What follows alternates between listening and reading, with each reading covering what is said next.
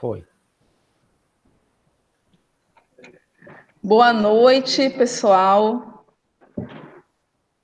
É, somos o GDG Salvador. Para quem ainda não conhece, o GDG Salvador é o primeiro GDG do Nordeste brasileiro a surgir. E o nosso objetivo é difundir as tecnologias do Google em nossa cidade através de eventos técnicos, palestras, cursos, oficinas e etc. É, temos algumas é, iniciativas, dentre elas a James, que é uma iniciativa do Google, que visa a criação de cursos online com suporte dos integrantes do Google, e também a Woman Tech Makers, que é um, um programa criado pelo Google, cujo objetivo é incentivar a participação das mulheres na tecnologia. Quem está falando com vocês agora, nesse exato momento, é Mariana Barreiros. Eu sou graduanda em Análise e Desenvolvimento de Sistemas pelo Instituto Federal da Bahia. Atualmente sou organizadora do GDG SSA, Salvador, é, sou atuante, sou membro também da, do Paileire Salvador, é, Mulherada TI, Diego Salvador, e costumo fazer alguns eventos aqui na nossa cidade, certo? Vou passar a palavra agora para Bianca Marques e Ramon Mota, os meus colegas. Eles vão se apresentar. Pode falar quem quiser, Bia ou Ramon, tanto faz. Fique à vontade, Ramon. Alô, nação GDG. Boa noite. Estamos em mais um, né? Mais uma live, nessa, dando continuidade a, a essa série, né? De lives desse mês de setembro. Bom, para quem não me conhece, né? Meu nome é Ramon Mota, estou há um tempo no GDG, que está agora em sob nova direção, né? Com Mariana Barreiros e minha querida amiga Bianca Marques. Pode. Se apresente, Bianca. É, oi, boa noite. É, meu nome é Bianca, já falaram aí, todo mundo. É, eu sou organizer também aqui do GDG SSA, ajudei a fundar o WTM SSA, sou desenvolvedora, ajuda algumas comunidades, como Paileires, como .NET, Salvador, Java Bahia, etc, etc e tal. E é isso. Pronto. É, gente, é, eu esqueci também de, de, falar uma coisa. Eu agora faço parte do Dev Java Gears, tá bom? Que é um novo grupo que vai ser criado aqui em Salvador. Mas fica para uma outra hora a explicação sobre esse grupo. É, só para introduzir o pessoal, para introduzir vocês. É, como a gente está começando, como o GDG Salvador está com uma, no, novos organizadores, né?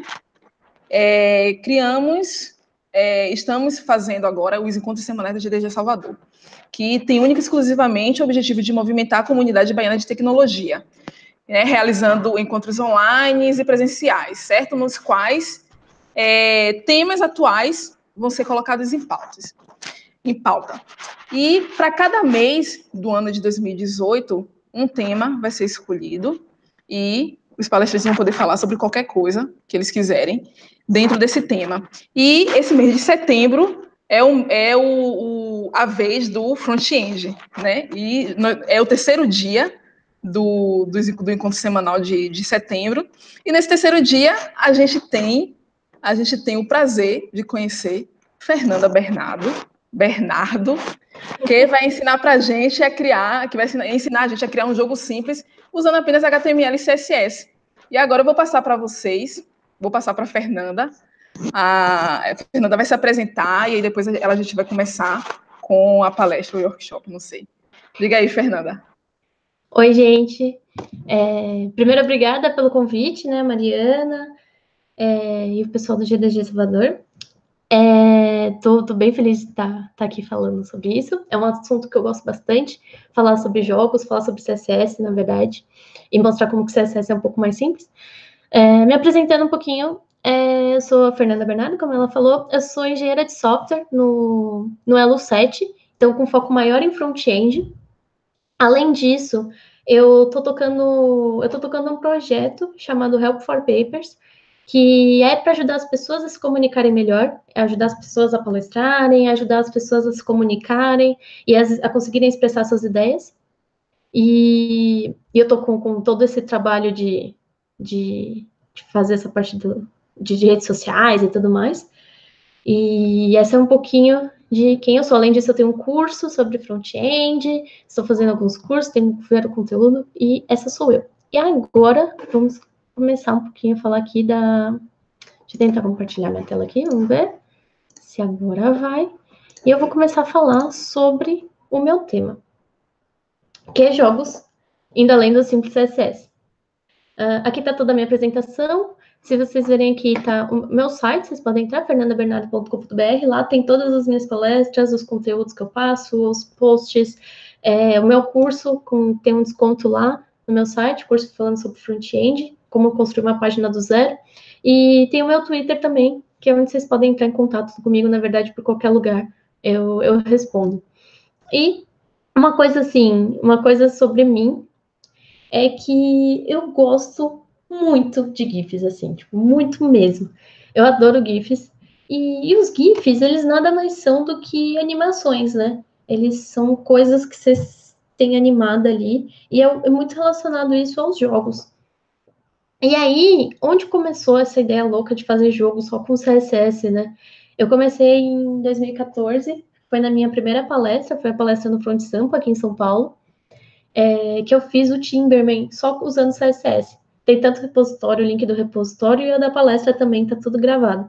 Depois disso, eu fiz um em 10 minutos no Front in Valley. É, em 10 minutos eu fiz o Piano Tiles, que é esse joguinho que vocês estão vendo aí. Também tem o repositório e a palestra gravada. E eu ensinei como que fazia isso só usando CSS. E aí a ideia disso tudo é você. Opa, acho que deu uma travada. Não sei se está aparecendo. Calma aí. Não sei se está aparecendo alguma coisa para vocês. Pronto, agora está aparecendo, Fernanda. Agora tá? Peraí, deixa eu voltar lá de novo.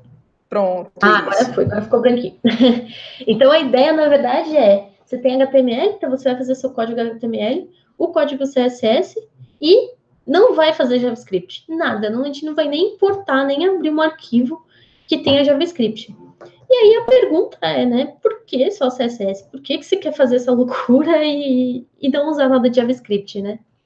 Uh, primeiro, porque é divertido. Tipo, é muito legal fazer isso. Eu, pelo menos, eu gosto bastante. É muito legal ver as coisas acontecendo. Segundo, porque é desafiador.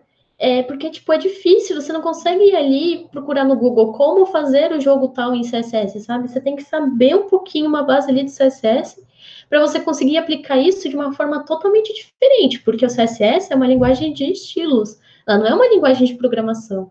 Então, como que você vai colocar eventos, é, é, essas situações, né, principalmente dos eventos, dessas condições, como que você coloca isso só usando CSS, que é uma linguagem de estilo? Então, esse é o grande desafio.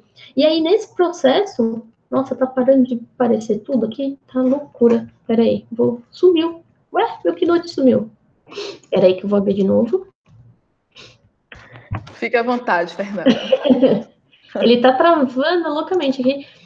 Mas vamos lá. Enquanto isso, eu vou mostrando. Aqui. Peraí. Aqui. Beleza.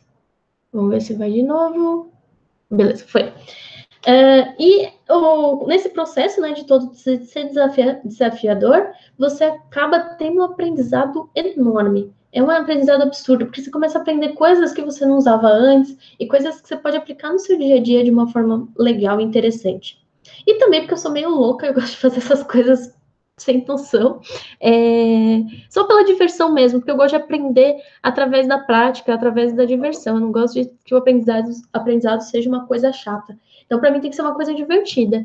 E, e também porque eu, pelo menos, não sei vocês, mas eu amo CSS. Muito. Eu gosto muito de CSS. Eu acho muito divertido, eu acho muito legal as coisas acontecendo, mesmo que as pessoas tenham esse problema, né?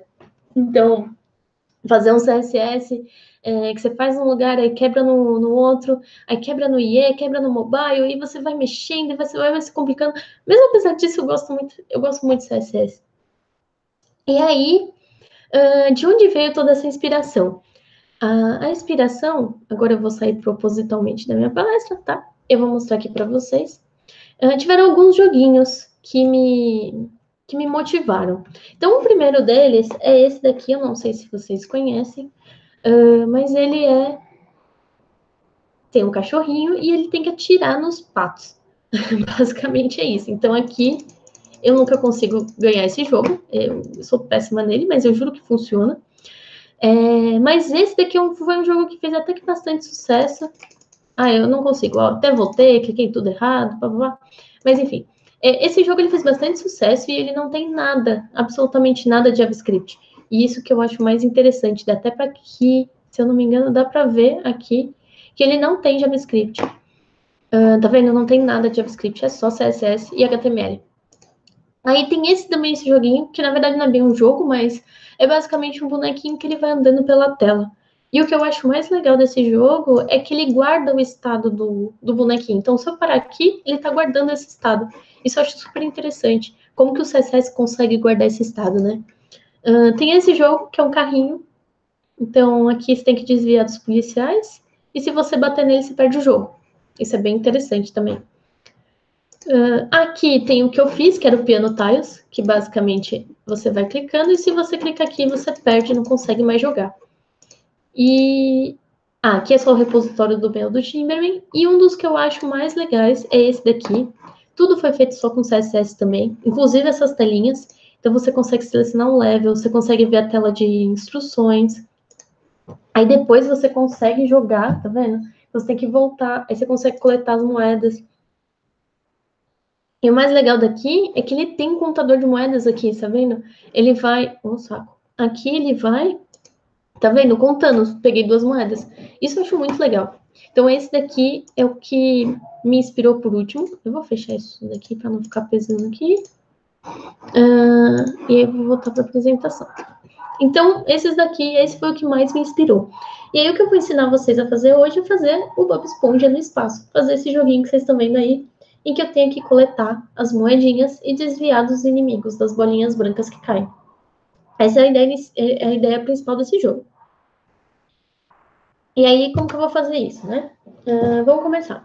Primeiro, como que eu represento os elementos que, básicos, né, do meu jogo? Como que eu faço para representar eles? Primeiro, quais são esses elementos básicos, né? O primeiro é o Bob Esponja, que é a base aí do, do meu jogo. E o segundo é o espaço, que eu quero fazer meu Bob Esponja no espaço. E aí, como que eu faço para começar do zero? Primeiro, eu vou criar meu HTML.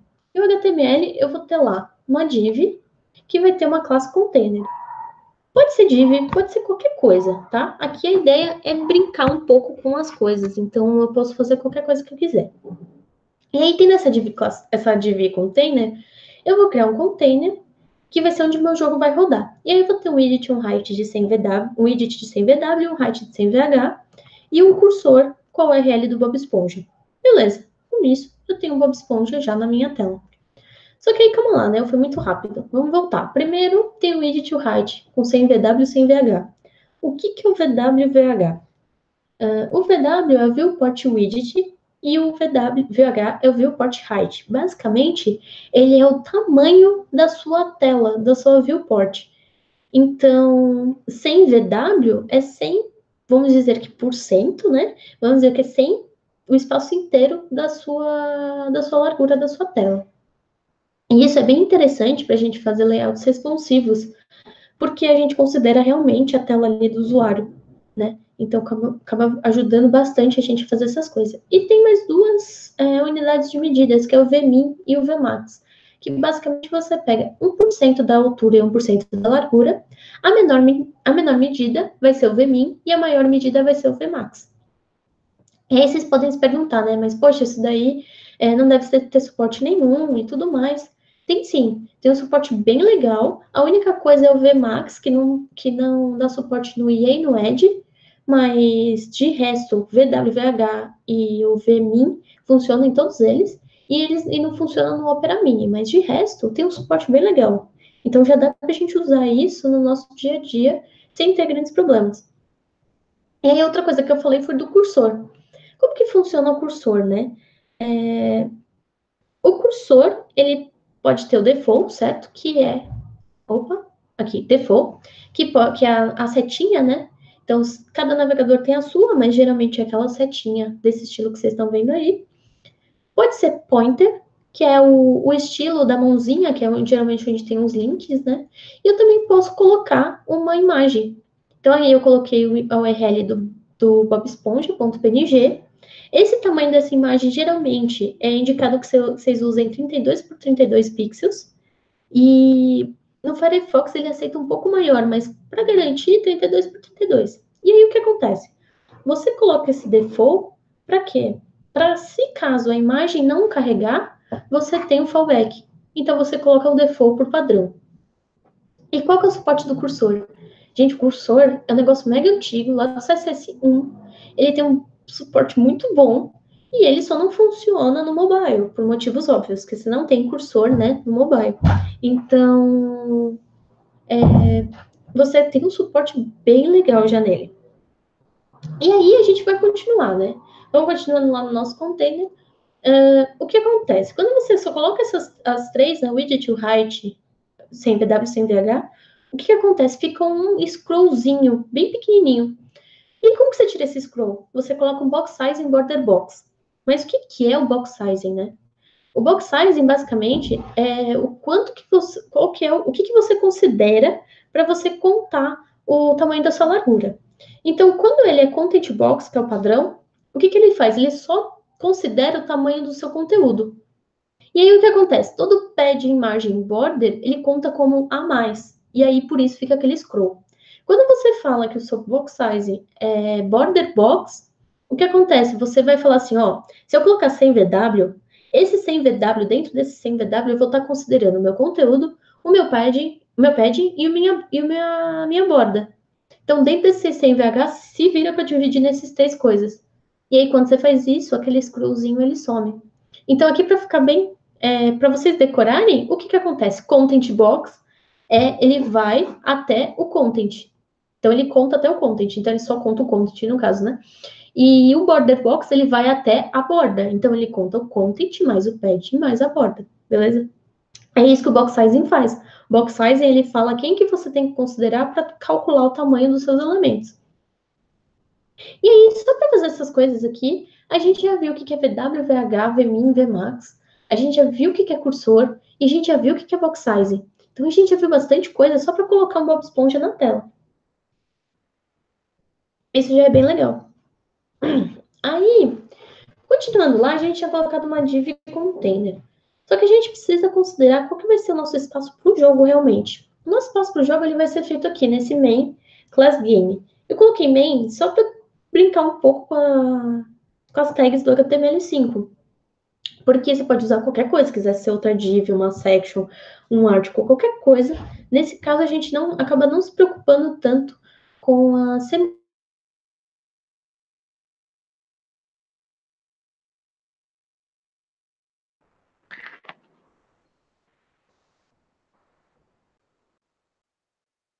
né? De fazer isso, porque a semântica desse jogo ela não, não vai ser muito considerada.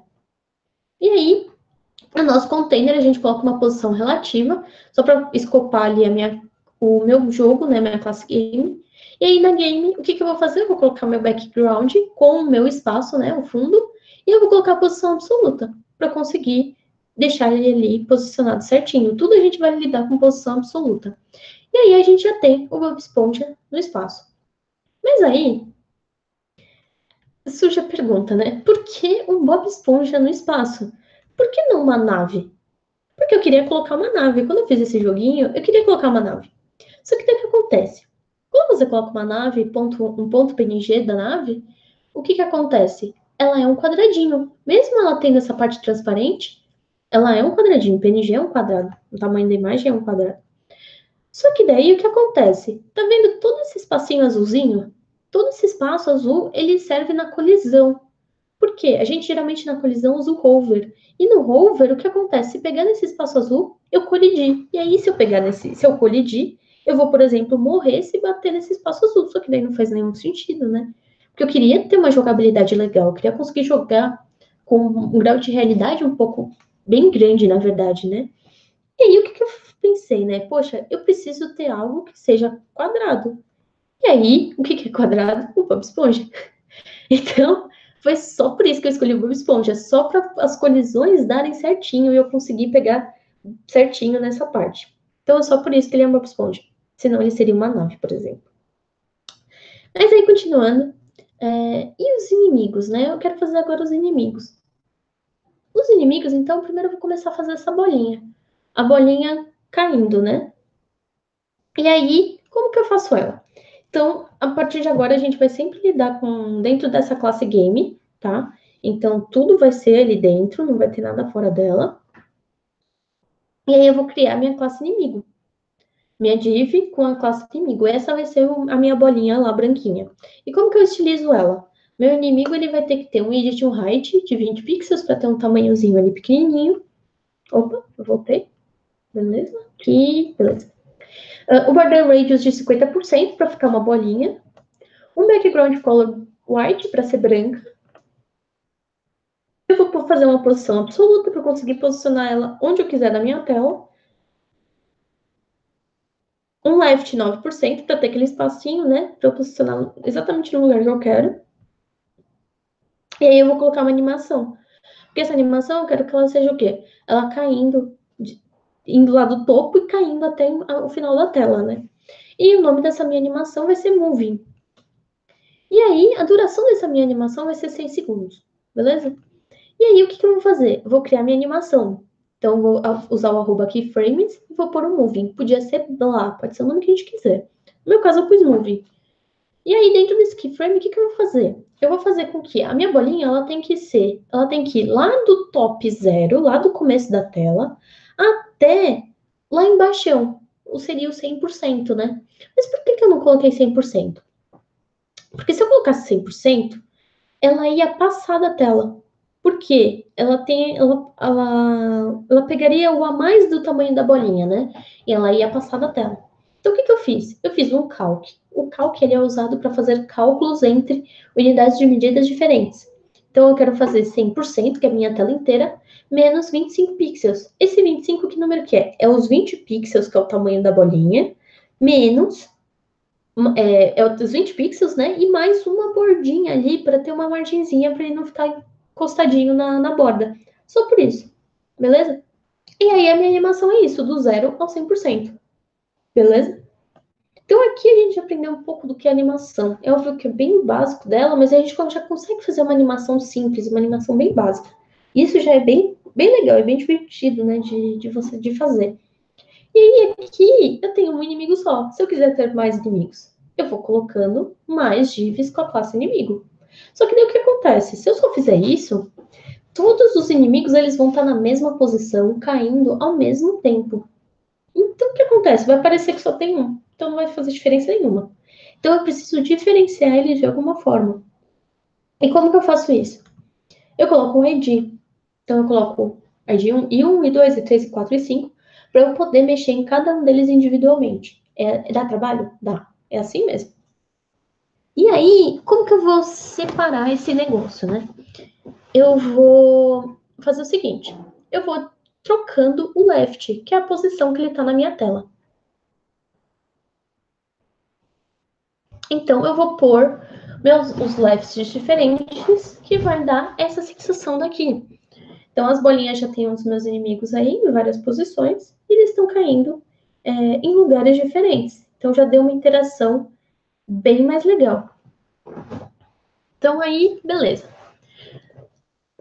E como que a gente deixa os inimigos mais dinâmicos? Porque se a gente ver aqui, tá todo mundo caindo ao mesmo tempo. Tipo, tá muito certinho, né? Então não tem muita graça. Como que a gente deixa tudo isso mais dinâmico? Então a gente vai fazer o seguinte: a gente vai pegar em cada um deles, a gente vai lidar, a gente vai mexer com, anima com animation duration, certo? Então, com a duração da animação, para ele poder cair em diferentes tempos. E a gente vai mexer com animation interaction count. Que ele, que, que ele faz? Ele fala quantas vezes que essa animação ela tem que acontecer. No caso, eu coloquei que a mesma animação ela tem que acontecer duas vezes. E aí eu vou fazendo isso com diferentes valores para cada um dos meus inimigos. E com isso, o que, que acontece? Eles já caem aqui em tempos diferentes. Se vocês perceberem, esse daqui, ele vai cair duas vezes, ó. Ele vai cair agora a segunda vez, antes de, de, de parar, né? Uh, e cada um deles vai fazendo de um jeito diferente. Então isso já ficou um pouco mais legal.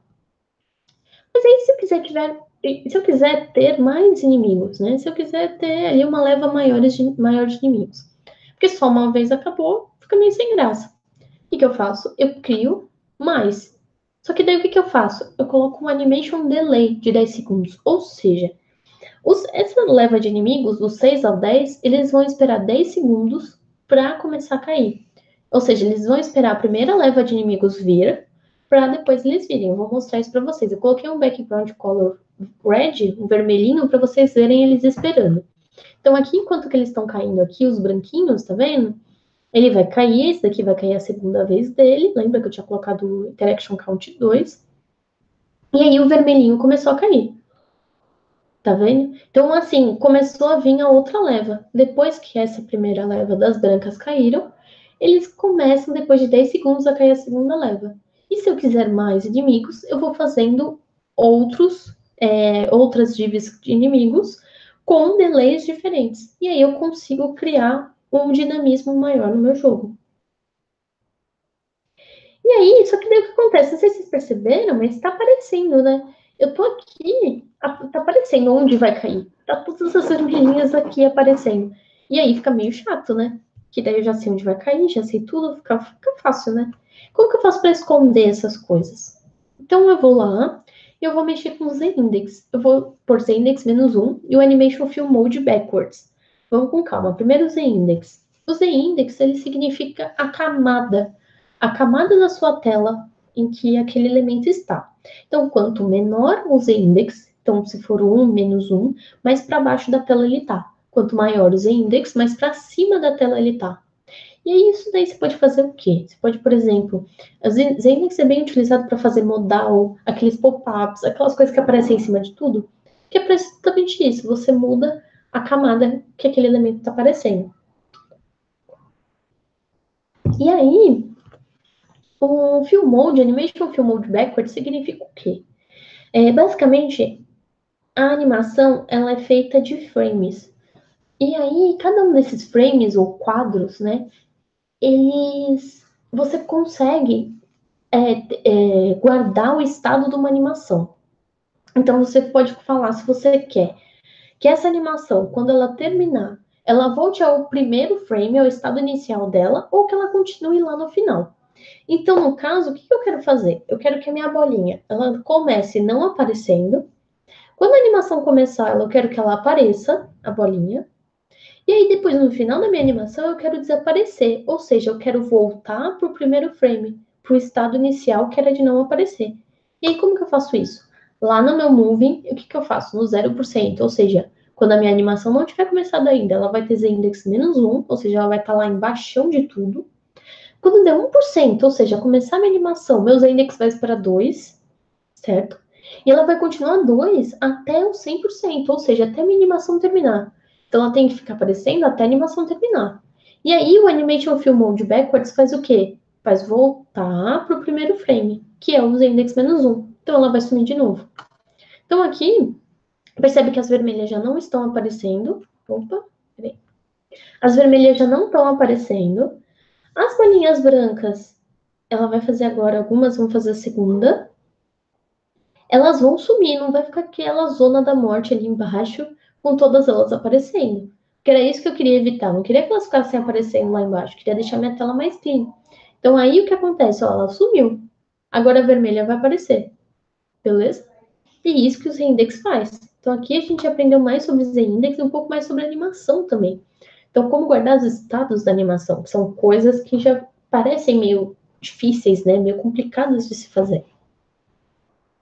E aí, agora a gente já fez algum inimigo, tudo e tal.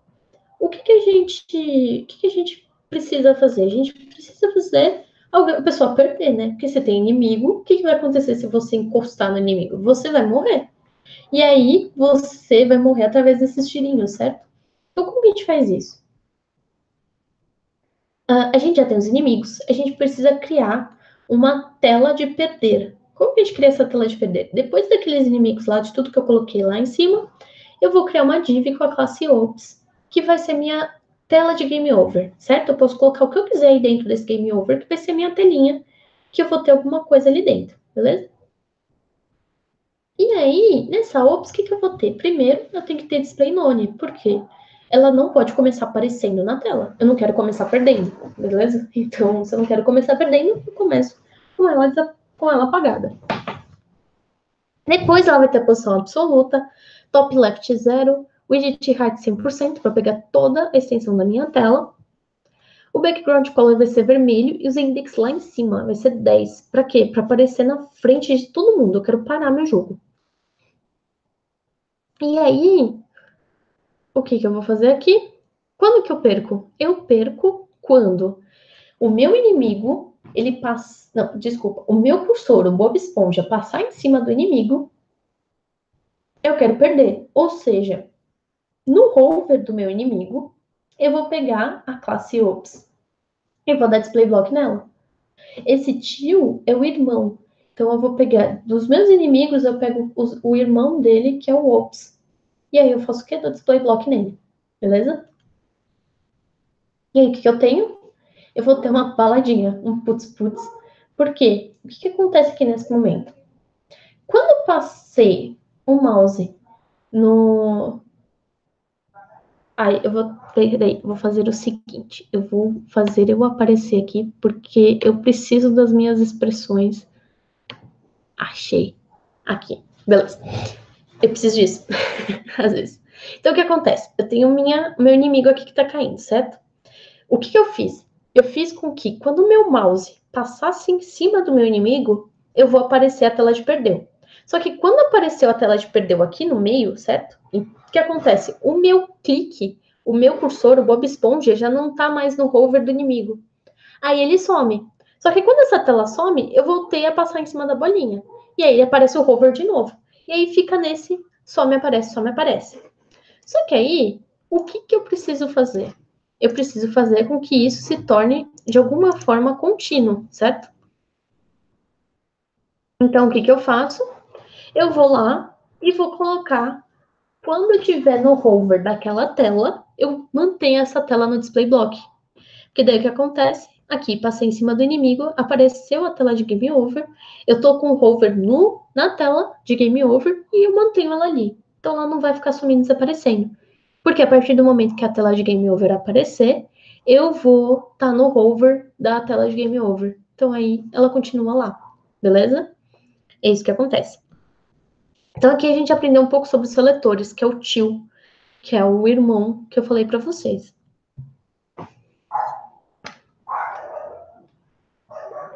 E aí, a gente já perder, já consegue perder, né? Só que é um jogo. O que, que a gente vai conquistar nesse jogo? A gente vai conquistar moedas, certo? E as moedas, elas vão ser essas bolinhas amarelinhas que eu quero clicar e coletar elas. E como que eu vou fazer isso? Eu tenho lá minhas divs inimigos, certo? Tenho lá todas elas. E aí, eu vou adicionar um input do tipo checkbox, que vai ser minha coin, minha moeda. Ela também vai ter o ID para poder ser separadinho, naquela, daquele jeito que eu mostrei para vocês. E o que, que eu vou fazer nessa moeda? Eu vou fazer a mesma coisa que eu tinha feito já no inimigo, widget height 20 pixels, background color amarelinho, vou pôr o border radius para ficar redondo, posição absoluta, left 9, vou ter que ter WebKit appearance porque é um checkbox, então tem que tirar os estilos do checkbox, o animation name e animation duration, vai ter tudo igual. Só que daí o que, que vai acontecer? Quando eu clicar na moeda, eu quero sumir com a moeda, porque eu não quero conseguir ficar lá clicando na moeda sempre. Então, eu tenho que sumir com ela. Então, eu coloco um Visibility Hidden nela, beleza? Então, quando eu clicar, deu Visibility Hidden e tranquilo, desapareceu. E aí, o que, que eu faço? Eu vou intercalando essas coisas para montar meu jogo. Então, inimigo, inimigo, mais um inimigo, mais uma moeda, mais vários aqui inimigos, mais moedas. E aí, eu vou intercalando isso do jeito que eu quiser para formar essa tela aí que vocês estão vendo. Quanto mais iterações eu quiser ter, mais eu coloco é, mais ou menos eu coloco desses do, do, das coins e dos inimigos, beleza? E aí a parte que eu acho sensacional é como contar os pontos. Porque nessa parte todo mundo acha que tem que usar JavaScript. É por default, né? Ah, contar coisas tem que usar JavaScript. Mas não. Para isso, existe o counter, é uma propriedade CSS, para poder fazer isso. Então, o que, que, eu vou fazer? Lá na minha classe game, que é a minha classe do jogo em si, eu vou colocar um counter reset, que vai ser pontos. Esse pontos pode ser qualquer coisa, tá? Pode ser blá, pode ser pontuação, pode ser o que você quiser. Então, e o game vai ser onde eu vou resetar esse contador. E aí, eu vou criar um after para o meu game, que vai ser onde vai realmente aparecer a pontuação, aqueles 2 de 5, blá blá blá de 3, certo? Aqui o que eu vou usar? Vou usar o counter de pontos, que é onde ele realmente vai contar, e vou adicionar esse barra 2. Esse barra 2 eu preciso adicionar na mão. Ele não é inteligente o suficiente para saber o máximo de coisas que tem para contar. Então eu preciso adicionar na mão mesmo, não vai ter jeito. E aí, quando que eu vou incrementar esse contador? Quando a minha moeda for checada, ou seja, quando eu coletar uma moeda, eu quero incrementar esses pontos, beleza? O detalhe que eu falei, que esse pontos pode ser escrito qualquer outra coisa, mas é, esses três têm que ter o mesmo nome, senão ele não vai funcionar, beleza?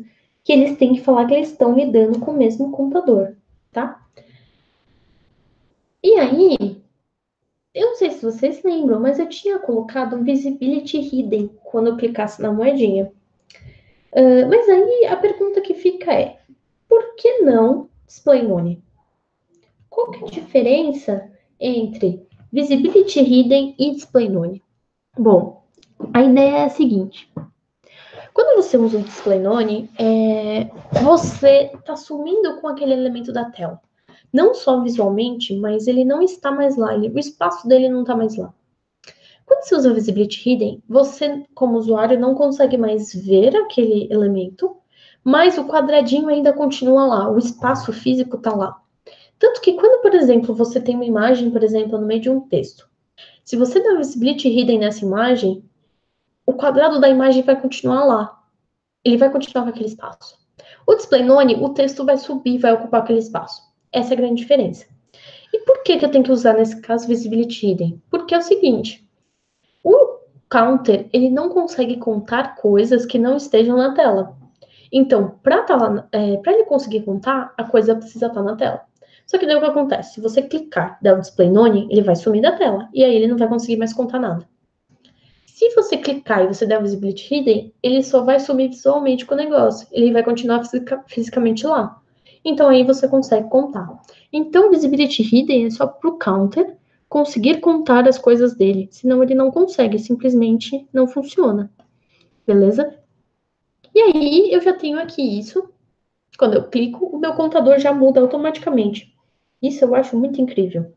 Que ele conseguir fazer isso sozinho, eu acho muito legal. E aí a gente aprendeu aqui o que é um counter. E aí, a gente já consegue perder, já consegue coletar coisas. Só que como que a gente ganha esse jogo? A gente precisa conseguir ganhar, né? De alguma forma. Então a gente vai lá no, na minha classe game, certo? E aí o que, que vai fazer? Vai criar uma, uma classe venceu, uma div com uma classe venceu, da mesma forma que a gente fez o ops. E aí a gente coloca lá o que a gente quer também no venceu. E esse venceu, o que, que ele vai ter? As mesmas coisas. Tem teto anônimo, porque você não quer começar ganhando posição absoluta, widget height 100%, background color green, top left 0. E aí o que, que você faz?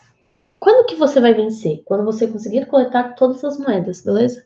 E aí o que você faz? Quando você coletar, quando a C1 tiver checked e a C2 tiver checked, o tio é o irmão, lembra? Eu vou pegar o venceu e vou dar display block nele, beleza? E aí eu tenho essa situação aqui que eu vou clicar na primeira bolinha e na segunda bolinha, e aí aparece venceu. Aqui não tem mais não tem aquele mesmo problema da, de perder, porque eu não tenho hover, né? É no checked. Uma vez checked, se eu sumir com o negócio, eu não consigo dar de checar o negócio, né? Então aqui eu não tenho mais esse problema de ficar aparecendo e desaparecendo. É um pouco diferente o contexto. E aí, e se eu tiver mais moedas? O que, que eu faço? Eu tenho isso, é só eu colocar mais vezes, beleza? Simples. Até quantas você tiver. Só que aí, eu fui dar esse jogo pro pessoal do meu trabalho testar. E, obviamente, eles quiseram me trollar, né? O que, que eles fizeram? Vocês estão vendo que o Bob Esponja não se mexeu aí. Ele não mexeu, não saiu do lugar. Como que ele conseguiu clicar nas duas bolinhas e vencer o jogo? Bom, tab, espaço, tab, espaço. O que, que é isso? Você dá o tab, você seleciona o primeiro checkbox, espaço, você dá o checked. Mais um tab, você vai pro segundo e checked você seleciona. E aí você vence o jogo. Sacanagem, né? E aí, como que eu... eu falei, não, não posso deixar isso acontecer. Tem que resolver. Como que eu vou resolver isso? Eu peguei lá todas as minhas moedas e o que, que eu fiz? Adicionei um tab index menos um. Bom, o que, é o tab index? O tab index ele mostra a ordem que você quer ir selecionando os seus elementos através do tab. Então, toda vez que eu clicar no tab, você consegue ordenar para onde ele vai. Isso é muito interessante para acessibilidade, porque se você, por exemplo, quer que no seu site é, você acesse primeiro o menu, depois o, sei lá, depois o primeiro conteúdo e não quer passar por um monte de coisa ali, você pode usar o tab index para ordenar essas coisas do jeito que você quiser. Então, aqui eu usei menos um para quê? Quando você põe menos um, você fala assim, ó, esse elemento ele não está acessível pelo tab. E é isso que quando você faz isso, de verdade, né? Quando você faz isso num site mesmo, você tá tirando aquele conteúdo da acessibilidade, você tá tirando aquele conteúdo para os usuários de teclado. Então você tem que tomar cuidado que você está fazendo isso, não é tão indicado assim você usando a Appendix menos um mas você pode usar é, todos os outros tab index para você ordenar a sequência dos seus conteúdos. E aí, resolvido o problema, ninguém consegue mais trapacear no meu jogo. E a gente também aprende um pouquinho sobre o tab index. Só que aí, o que eu queria fazer, né? Eu não queria parar por aí. Eu queria conseguir pausar meu jogo. Sim, dá para pausar meu jogo, sem usar JavaScript ainda. Como que eu faço isso? Então, eu vou lá, eu vou criar um input do tipo checkbox também, que vai ser meu pause button. E aí eu tenho que criar uma label que corresponde a esse pause button também. E aí o que, que eu vou fazer? Então tem que ter o mesmo nome, né? O input com ID tem que ter o, o for com o mesmo nome do ID para eu corresponder a esse input. E aí o que, que eu faço? Eu vou usar o pause button mais label. Aí também vem o que, que é esse mais, né? É um seletor que também significa irmão. E aí, eu vou voltar também de novo para mim, porque eu consigo... é muito mais fácil olhando. Oi, tudo bem? É, como que você explica a diferença entre o tio e o mais, sendo que os dois são irmãos? Bom, eu gosto de pensar que o, o tio, ele é um irmão, só que ele é, o que, que ele faz? Ele pega o elemento que você está falando primeiro, ele vai tio, tipo uma onda, tá vendo? Ele não, assim, ele é tipo uma onda, então ele pega todo mundo que tá ali pra frente. E aí o que, que ele faz? É, ele pega todo mundo que tá pra frente, todos os irmãos que estão pra frente, beleza? E aí o mais, o que, que ele faz? O mais, você geralmente está somando ali duas coisas, então eles têm que estar tá um do ladinho do outro. Essa é a diferença do tio pro mais. No tio, ele pega todos os irmãos que estão para frente. O mais, ele pega exatamente ao lado que tá dele, beleza? Que a gente vai, vou voltar de novo para minha tela.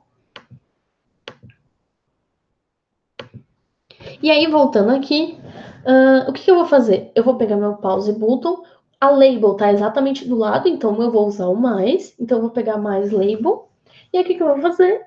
Eu vou colocar o meu botão de pause.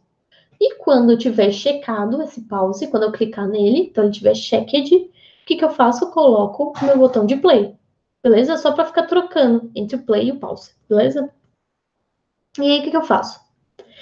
Toda vez que o quando eu pegar o pause button, né? Quando o pause button então tiver, quando ele tiver no play, né? Quando ele tiver no estado natural ali, tiver aparecendo para eu clicar em pausar, né? No caso, o que, que eu vou fazer? Eu vou pegar tio todos os inimigos. Então, o tio lembra que a onda pega todo mundo para frente, todos os inimigos, ele pega todas as coins e faz o quê? Fala que a animação está rodando. Animation Play State, certo? E se eu tiver checado, ou seja, se eu tiver no estado de pause mesmo, eu pego todos os inimigos, todas as moedas e vou dar um animation play stage, state paused, certo? O que que acontece? Eu estou controlando o estado da minha animação, se ela está pausada ou ela está parada. Se ela, eu falei a mesma coisa, né? Se ela está rodando ou se ela está parada. Então aqui dá para ver. Parei, todo mundo para, dei play de novo, todo mundo volta da onde parou. Só que aí fica fácil, né? eu posso pausar o jogo, clicar nas duas moedas e vencer o jogo. Só que eu não quero isso. Eu quero travar essa parte. O que, que eu faço? Eu vou criar uma div que vai ter um pause container. Então, um container que eu não vou conseguir clicar, que vai estar no estado de pause. Como que eu faço isso? Mesma ideia do que eu estava fazendo antes. Então, pause container vai ter lá o display none, o background color vai ser black, eu coloquei uma opacidade 0,7 para conseguir ver o que estava embaixo. E quando eu tiver checado, ou seja, quando eu clicar no pause, eu quero pegar esse pause container e dar display block nele. Então ele vai ficar aparecendo assim. Só que percebe que eu quero deixar o botão voltar, né? Eu quero deixar, conseguir dar play de novo no botão. Como que eu faço isso? Opa, peraí que eu vou demais. Meu pause container, eu vou deixar ele pegando toda essa, essa altura, né? E a largura 100%. E eu vou criar um before, que vai ter aquele espacinho daquela imagem. Então, com isso, a gente, eu nem pus o código, mas a gente vai brincar bastante com os calcs para calcular como que fica aquilo ali. Uma outra forma é usar os index, que a gente aprendeu antes. Só que dessa forma a gente brinca um pouco com os pseudo-elementos, que é o before, e com os calques, né, de ficar calculando para posicionar, posicionar isso no lugar certo. Beleza? Mas aí, uh, a gente já fez praticamente tudo, né? A gente já colocou é, a parte do como perde, como ganha, colocou o contador, colocou para pausar o jogo. Eu quero também colocar as instruções que eu tinha achado legal daquele outro joguinho. Para falar assim, ah, poxa, se ele colocou, eu também quero colocar. Como que eu coloco isso? Bom, aqui, lembra que a gente lidou até agora com a parte do game, né? Eu vou sair, eu vou colocar fora do game, vou colocar naquele container. E eu vou colocar aqui o meu input com essa intro, que vai ser um type checkbox, e vou criar a sessão que vai ter todas as minhas informações da minha introdução. E lá dentro dessa intro, eu vou ter a minha label, que é onde eu vou, é, que é onde eu vou clicar no play, e ela vai ser o for daquele input lá de fora. Aí eu vou explicar por que, que a label tem que estar dentro da sessão e o input tem que estar lá fora. E aí, depois disso, vai ter o game que a gente estava lidando até agora, beleza? E aí, eu tenho aqui essa estrutura, certo? A mesma estrutura do slide anterior, só que mais simplificado. Por que, que eu tenho que deixar o input lá fora? Porque eu vou explicar. Primeiro, como que a gente faz a intro? A intro é a mesma ideia de todos. Width height 100%, posição absoluta, top left, 0. E Z index 15, que é lá na frente. Ela tem que ser a primeira coisa que vai aparecer na sua tela, beleza? E aí, o que, que eu faço? A label, eu vou estilizar a label com for igual a intro. Então, aqui a gente aprende como faz outro seletor aí de CSS. E aí a gente estiliza o botãozinho para aparecer um botão de play. E aí, o que, que eu vou fazer? Quando a intro. Aí eu não consigo mexer o meu mouse. Peraí. Ah, não, não dá pra voltar, não. Calma. Ah, bom, enfim. Quando. Passei demais. Quando a intro tiver checked, ou seja, esse é o hashtag, é o, é o input. Então, quando o input estiver checked, eu vou pegar o irmão que for o ponto intro, que é a sessão inteira, e vou dar display none. Ou seja, quando eu clicar no play, eu vou sumir com aquela sessão. E por que, que ele tem que estar fora? Porque é, em CSS você não consegue pegar a classe pai. Então você não consegue falar assim, ó, quando eu clicar naquela label ali, o que, que, eu vou fazer? Eu vou pegar o pai dela, que é a sessão, e vou sumir com ela. Eu não consigo fazer isso. Então o que, que eu tenho que fazer? Tem que pôr o input lá fora, falar assim, ó, quando eu clicar no input, eu vou pegar o irmão, que é a sessão, e vou sumir com ela, beleza? Então essa é a ideia de você fazer isso. E aí, com isso, eu já consigo fazer isso. Eu faço a telinha ali, que eu quiser, clico no play e ele começa meu jogo. Bem legal, né? E aí, se eu quiser fazer mais uma tela de regras, e que eu faço, crio uma sessão com, umas, com as minhas regras, mesma, mesma ideia, né? Coloco lá o label lá dentro. E aí, o que, que eu vou fazer? Quando eu clicar no intro e também clicar nas regras, eu vou pegar as regras e vou dar display none nela. Então, clico na intro, clico nas regras e começo o jogo. Beleza? Bem legal. E aí, você pode fazer isso quantas vezes você quiser. Você pode fazer quantas telinhas vocês quiserem. E é só encadeando os seletores que tudo funciona. Bom, se vocês quiserem ver o, o joguinho funcionando, é só acessar esse site. Então, o meu site, fernandabernardo.com.br barra. É, nesse, nesse link, vocês conseguem jogar bem legalzinho. Se for no celular, vocês não vão conseguir ver o Bob Esponja apenas, mas no computador dá para brincar e jogar com o Bob Esponja. E aí aqui, aqui é um pouco que a gente aprendeu hoje, bem pouco, porque várias coisas eu não coloquei nesse slide, mas a gente aprendeu VW, VH, VMIN, VMAX, cursor, box size, animação, Z-index, seletores, counter, tab index, um monte de coisa só fazendo um joguinho, que é bem legal, e a gente aprende tudo isso que a gente pode usar realmente na prática. Aqui tá minha biografia, é, todos os links que eu mostrei para vocês ali no começo dos joguinhos, então vocês podem entrar em cada um deles inspecionar e ver como que funciona o CSS, o HTML deles. Aqui tá meu site de novo, meu site, minha, minha, rede social, meu Twitter, e eu queria deixar para vocês um, um link com desconto de 40% do meu curso. Então é só acessar bit.ly barra front básico. E esse curso vocês vão aprender a fazer é, uma página pessoal do zero, usando só HTML e CSS. Então eu vou explicando todo esse processo de como fazer. Então acessar esse, esse link que tem desconto nesse, nesse link para vocês. E é isso que eu tinha para falar hoje para vocês.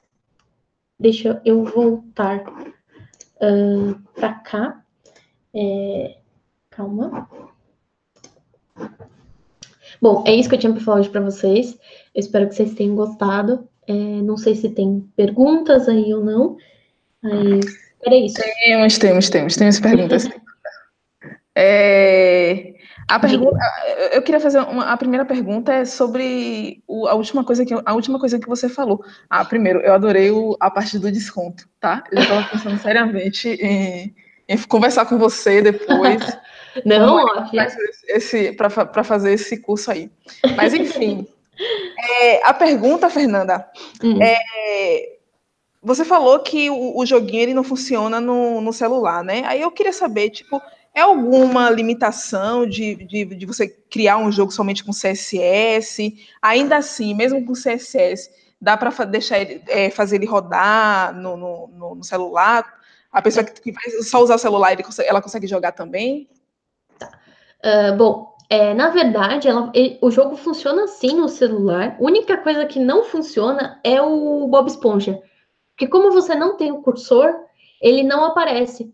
Então, você tem que ir só clicando nas bolinhas, então tudo vai funcionar, como se fosse um site oh. normal, porque HTML e CSS, né?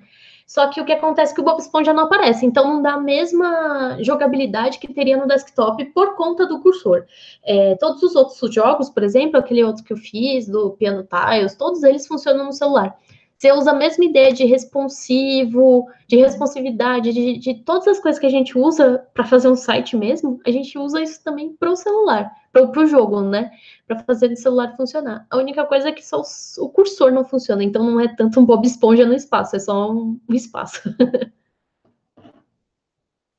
Pronto, muito legal. Vem cá, Fê, é, eu, eu me perdoe, mas eu, eu acabei rindo na hora que você falou que seu colega testou o seu jogo e encontrou os erros. Aí eu queria saber, é, nós programadores, né, desenvolvedores, a gente normalmente tem é, que testar, né, os nossos, uhum. o nosso código, enfim. Aí eu queria saber se com você, depois disso, é, tem alguma forma de você testar o, o, o, o, seu código antes? Como, como foi que você reagiu depois desse, desse incidente? É, então, bom, eu tinha feito essa, esse jogo em especial, eu tinha feito ele especialmente para palestra, para uma palestra do Frontin Valley que eu ia dar, e tanto que eu fiz com uma temática próxima do que tinha do evento. E, e aí o que acontece? Eu estava fazendo o jogo, tudo e tal, e estava com ele pronto. Eu falei assim: ah, beleza, tá pronto, tá funcionando. Pessoal, testa para mim, porque eu já tinha testado, né? Quando você faz o seu próprio código, você você fica condicionado, né? Você fica meio que viciado naqueles erros. E aí, o que acontece? Quando eu dei para eles testarem eles fizeram isso, eu fiquei assim, meu, eu não acredito, tipo, eu nunca tinha ia parar para pensar nisso. E aí eu tive que pensar em uma forma de não deixar eles burlarem. E aí eu comecei a pensar em quebrar a cabeça para falar, não, eles não podem burlar. E aí eu, come... eu criei aquele negócio do Tab Index, falei, pô, faz sentido isso, tudo tal. Acho que a gente, talvez a gente até tenha criado meio que junto, né? Tipo, na discussão lá de o que, que a gente pode fazer e tudo e tal. Mas isso acaba acontecendo bastante no desenvolvimento de um jogo, porque é, eu tinha, por exemplo, a ideia de fazer, então eu quero fazer um eu quero fazer um Space Invaders, vamos dizer assim. Eu vou ter os tirozinhos e vou ter e eu vou querer coletar as coisas. Só que aí, à medida que você vai desenvolvendo, você, como não tem JavaScript, não tem essa parte da lógica, né, essa linguagem que tem a lógica de programação, o que acontece? Você fala assim, poxa, chega em momentos que você fala assim, eu não consigo pensar numa forma para resolver isso só usando CSS. E aí eu falo assim, tá, mas eu não vou usar JavaScript. Essa tem que ser uma limitação real, assim, não vou usar JavaScript, não vou, não vou, não vou. Então o que, que eu preciso fazer para não usar? Então, às vezes, muitas, muitas vezes eu acabava é, trocando o caminho. Para quê? Pra, eu trocava a direção para tentar chegar num, num, resultado parecido, só que de uma forma diferente. Então, ah, sei lá, eu não conseguia fazer a bolinha cair, então eu tinha que fazer a bolinha subir, sei lá, qualquer coisa do tipo. Eu não lembro agora um exemplo é, rápido para te falar, mas é, era assim: você tinha que trocar a forma de lidar com as coisas para o CSS conseguir encaixar. Então, isso acontecia bastante. Antes, antes de dar para as pessoas testarem, comigo mesma, eu falava assim: preciso fazer tal coisa, como que eu faço? Putz, não faço ideia. Eu tentava de um jeito, tentava de outro, tentava de outro, não dava certo. E aí o que eu fazia? Eu falava assim: tá, beleza, eu não vou mais tentar fazer isso, eu vou tentar fazer o aqui para tentar entregar a mesma coisa. Então, acontecia isso bastante, assim. Pronto, muito legal. É, Fê, ó, tem uma pergunta aqui de um rapaz chamado Hugo Deiró. Ele está uhum. com uma dúvida. Certo. Ele pergunta assim: precisa estar na tela no sentido de viewpoint ou só estar renderizado? Você entende, entendeu o contexto? Forte. Uh, não, calma. Você está na tela no sentido de viewport? O, o como assim? Eu não, eu não entendi. Você entendeu? Será que ele consegue, ele tá ainda online para Acredito eu, que não... eu não sei se ele está online, acredito que ele esteja online, mas é. Você entendeu? É, eu, eu, também não fiquei sem, sem, sem compreender. Porque, na verdade, assim, eu também sou leiga na, na parte de tá? ah, não, tranquilo. Porque o, o sentido de viewport, eu imagino que é o landscape e o portrait, né? Eu, eu imagino que seja isso que ele está falando. Então, se eu está no modo de retrato ou paisagem. Então, eu não sei, eu vou, eu vou, eu vou tentar explicar alguma uma coisa que eu imagino que possa ser, mas se não for, Hugo, você coloca aí nos comentários que a gente vai incrementando a pergunta. Mas da mesma forma que a gente tem um site, então quando você entra num site, você no mobile, né, você pode estar ali tanto no modo retrato, que é o modo é, vertical, quanto no modo paisagem, que é o modo horizontal. E você consegue ficar virando o seu celular para você ir nesses formatos. E aí o que acontece? É, no seu site, o seu site pode quebrar, porque é, é o modo responsivo. Se o seu responsivo não tiver tão direito, ele vai quebrar. E a mesma coisa acontece com o jogo. O jogo é, um, é o seu site em HTML e CSS. Sabe? Ele não tem JavaScript, mas ele tem HTML e CSS como seu site. E ele pode quebrar. Às vezes até mais fácil do que o seu site, porque é, esse jogo eu ainda coloquei bastante coisa com porcentagem para tentar deixar o máximo responsivo possível, né? Usei o WVH para tentar melhorar essa parte. Mas pode ser que, que eu vire o meu celular e aí as bolinhas caiam rapidinho, né? E aí a jogabilidade dele fique péssima. Isso pode acontecer. Uh, e aí o que, que você pode fazer para é, evitar isso? Usar Media Query. Eu não usei nesse caso, eu nem testei ele virado, né? Mas é, você pode usar Media Query para quê? Mudar o tempo da sua animação, deixar mais devagar, por exemplo, para a bolinha cair mais devagar, já que você tem um espaço menor.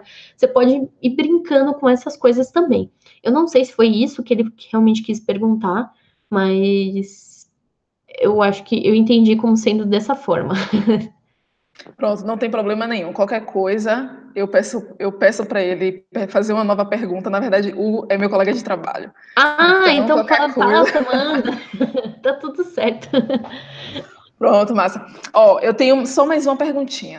É, quando você mostrou que qual seria o, o, o elemento que você usaria, que seria, no caso, a nave ou o Bob Esponja, né? Aí você usa o Bob Esponja pelo fato dele ser quadrado e tal, por conta da colisão. É, eu queria saber se com CSS seria possível eu usar, mesmo assim, a nave, mas resolver aquele problema da colisão. Tá, uh, ok. Com CSS só, hum, eu acredito que não, por conta que você usa lá no curso, você a propriedade que faz o cursor mudar é só o cursor, que você ou pode pôr uma URL ou você coloca lá os defaults dele, né? O default, pointer, tudo mais. Uma coisa que já me, me chegaram a comentar comigo, só que eu não cheguei a testar, é tentar usar SVG, porque o SVG ele ele não, porque o PNG o que acontece? Quando você salva o PNG, você salva ele ele fica quadradinho, mesmo o fundo sendo transparente o formato dele é quadrado. Quando você tem o SVG, você consegue meio que recortar ele. E aí fizeram uma sugestão, só que eu não cheguei a testar ainda, mas que talvez funcione, é usar um SVG ao invés de um PNG. Eu só não sei quanto à compatibilidade, então se isso é bem é, compatível ou não é, e se ele realmente respeita essa colisão. Então, essa parte eu não sei realmente responder, mas é uma possível é uma possibilidade, mas só com CSS não, porque como a gente usa o cursor com uma propriedade que não é nada, que não é o CSS, né? Eu não consigo fazer um before, um after, nada disso nele. Então, como eu não consigo fazer essas coisas, é, eu não consigo estilizar suficientemente para conseguir respeitar essas colisões, né? Então, isso eu não conseguiria. O máximo que poderia acontecer é usar esse, o SVG, só que daí eu não sei se ele realmente respeita e se a compatibilidade dele é boa. Pronto, beleza, Fernanda. Deixa eu só verificar se os meus colegas têm alguma dúvida. Tá Bianca e Ramon, por favor, se pronunciem. Oi, não, não tenho dúvida. Acho que explicaram aqui, o Walter disse aqui sobre a pergunta do Hugo. Diz que foi a questão do visi visibility. ah, visibility display none. No checkbox. Tá. Então, ele, no sentido de viewport... Tá, eu vou então explicar, é porque eu ainda não sei se eu entendi a pergunta de verdade, mas... mas... Oi? Mas, Fernanda, também não, não, não, tem, não tem problema, né? Porque eu acho que, na verdade, o, quem deve saber mesmo é o próprio, eu, é o próprio Hugo, né? Mas qualquer problema, não, eu, qualquer coisa, ele vai entrar em contato com você, com certeza. Tudo Se você bem. me der o aval, eu poder passar o seu contato. Pode, claro, pode, pode. Pronto. E aí, é, falta Ramon se pronunciar agora. Até pelo próprio Twitter, é. Ele, ele, pode estar tá, tá perguntando a ela. Pode, sim, com certeza. Eu, eu super respondo e não tem problema, não. Isso. E aí, Ramon, alguma pergunta? Não, não, não tenho perguntas, não. Pronto. Então, Fernanda, é, só para terminar, é, eu não sei se você, não lembro se você mostrou, mas é, é possível a gente encontrar o, o, código do jogo? Sim. Tem alguma repo? Tem sim. Eu vou. O, o, link que eu passei era só o do. É só o jogo funcionando realmente. Mas eu já te passo o. Aqui. Peraí. Space Game. Tá aqui, ó. Eu vou te mandar aqui. Esse é o do, do onde está todo o código. Podem olhar, podem questionar. Ele não é lá muito bonito, porque não tem é, CSS puro, né? É, não tem SAS, não tem less, então ele vai ser realmente um pouquinho feio. Mas podem, podem brincar, pode, pode fazer é, fork e brincar com as suas próprias coisas. Isso é bem legal para vocês irem aprendendo um pouco mais sobre como é brincar com o jogo com CSS. Pronto, a gente vai postar aqui, na, aqui no, nos comentários da live. E final, a, a última, última, última, é, faça aí o, a propaganda do seu curso. Ah, propaganda. É, fale mais um pouquinho, o que é que a gente vai encontrar. Eu, eu, eu realmente fiquei interessada, eu quero tá. saber. eu vou passar aqui o link para vocês. O, o, a propaganda do curso é o seguinte. É, basicamente, é, eu acho que é bem. Uma grande dificuldade que as pessoas têm, às vezes, é de entender o HTML e o CSS de verdade, né? O que, que eu estou fazendo quando eu uso uma tag X, o que, que a tag Y significa, ou como que, que eu uso algumas propriedades do CSS. O CSS geralmente é uma dificuldade um pouco maior né, para as pessoas. E, e eu acredito bastante em fazer coisas práticas, né? Fazer coisas práticas usando essas coisas, né? Não tipo, não é só ficar assim, ah, vamos aqui aprender agora o que, que é um main, o que, que é uma div. Eu quero fazer uma coisa prática, uma coisa conseguem render, né? Então, a ideia, a proposta do curso é o seguinte: você conseguir montar uma página pessoal do zero. Então, conseguir ter uma página pessoal no final do curso e eu vou montando ela é, junto com, com, com vocês e vou explicando cada um dos passos e como que faz cada um dos passos. E aí, chega no final do curso, você tem uma, você pode já ter uma página com seu portfólio já e divulgar suas coisas. Então, essa é a proposta do curso. Ótimo, adorei. É... Então, gente, eu acho que é isso. Deixa eu ver se tem mais alguma pergunta. É, não, tem, não, tem mais, não temos mais perguntas. Eu gostaria de agradecer imensamente a Fernanda por ter aceitado é, fazer essa, essa live com a gente. Eu acho que eu falei, que eu conversei com a Fernanda é, bem em cima da hora, bem em cima de setembro.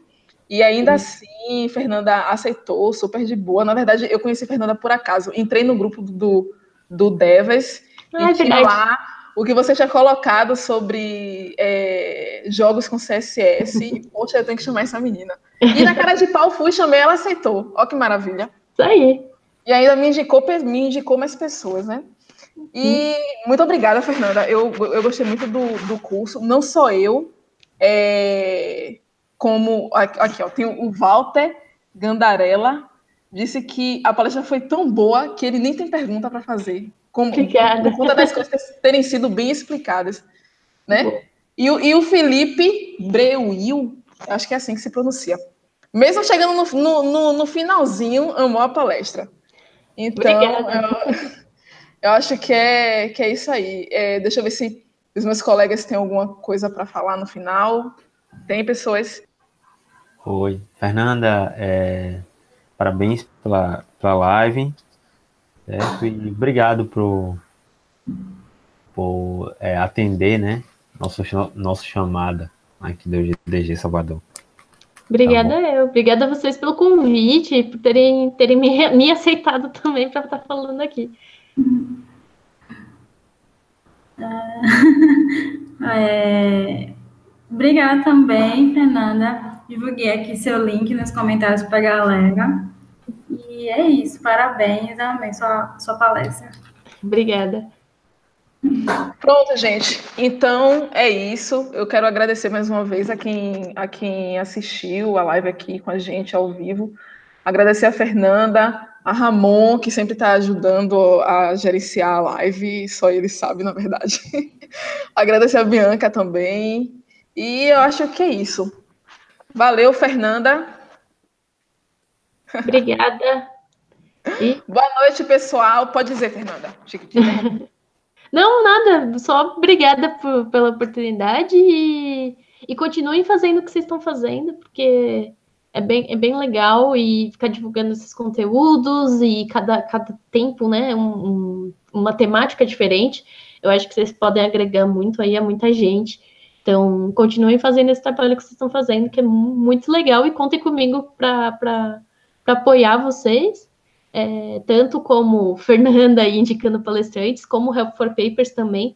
Então, se precisarem de ajuda para ajudar as pessoas a palestrarem ou a divulgarem conteúdos, se as pessoas estiverem com medo, qualquer coisa do tipo, também podem contar com, com Help for Papers para isso. E, e muito obrigada mais uma vez. Pronto, valeu, Fernanda, obrigada. É, então, eu acho que é isso. Olha, gente, na próxima, nossa próxima reunião vai ser no dia 22 e a gente vai ter o, o nome das palestras, na verdade, eu esqueci, mas serão três palestras presenciais.